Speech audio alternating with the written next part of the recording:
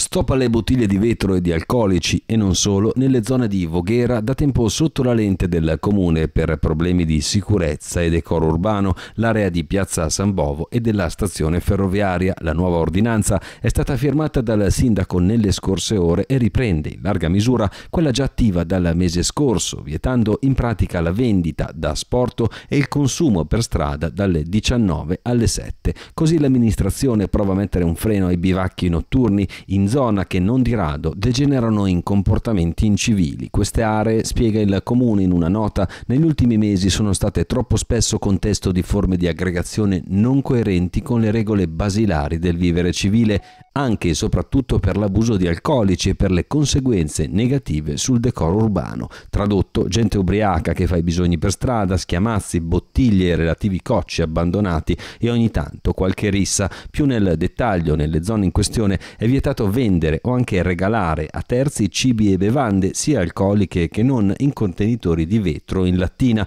Il consumo di bevande alcoliche al di fuori di locali ed eor è invece sempre e comunque vietato dalle 19 alle 7 del mattino.